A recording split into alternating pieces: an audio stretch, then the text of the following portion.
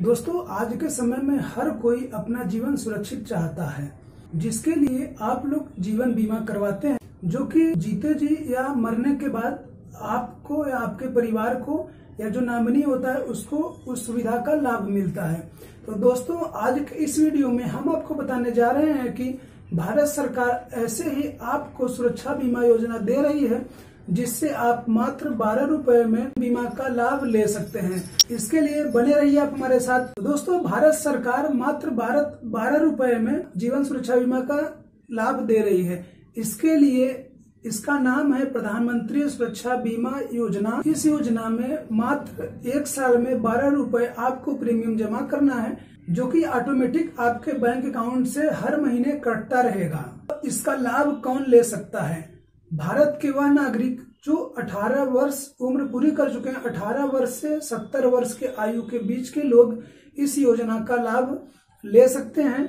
इसके लिए आपको अपने बैंक अकाउंट, बैंक में जाना होगा और बैंक अकाउंट में फॉर्म अप्लाई करना होगा, जो यह लाभ उन लोगों को नहीं मिलेगा जिनका अकाउंट बंद हो चुका है। जैसे एक बार आपने कराया, आपने इस बीमा को करा लिया, इस बीमा के लिए अप्लाई कर दिया और आपने अपना अकाउंट बंद कर दिया है इस बीमा का लाभ आपको नहीं मिलेगा।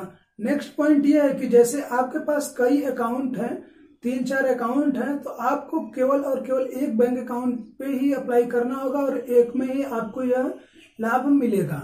इसके लिए आप बैंक में मंत्री सुरक्षा बीमा योजना के लिए आप बैंक में जा करके ऑफलाइन या ऑनलाइन दोनों तरीके से आप इसको अप्लाई कर सकते हैं। प्रधानमंत्री सुरक्षा बीमा योजना का लाभ जैसे भगवान न करे, ईश्वर न करे, किसी की डेथ हो जाए तो जिस व्यक्ति की डेथ हो जाती है, उसके नामिनी को यह दो लाख रुपए मिलता है। सरकार और किस किस बेस पर यह दे रही है, किसको किसको यह मिलेगा? जिसने इस योजना को अप्लाई किया हुआ है, उसको अगर उसकी एक्सीडेंटल डेथ होती है तो उसके नामिनी को दो लाख दो लाख रुपए मिलेगा।